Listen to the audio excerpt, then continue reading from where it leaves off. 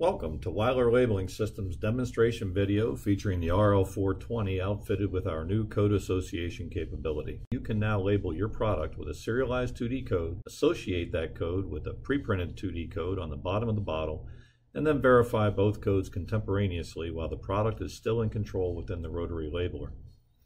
This eliminates the need for any downstream equipment such as a 360 degree vision system to recapture the label code prior to aggregation.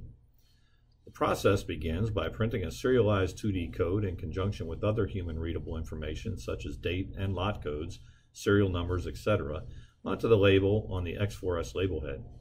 The X4S is particularly well suited to print serialized codes at high speeds due to its use of continuous motion during printing and index motion when applying the label to the product. In order to achieve the code association previously mentioned, the RL420 must first read the 2D data matrix that was pre-printed on the bottom of the bottle. It must then read the 2D data matrix that we print on the label with the domino laser mounted onto the X4S label head. As the labeled bottle reaches the exit star wheel of the labeler, the bottle is held in position by vacuum cups shown here.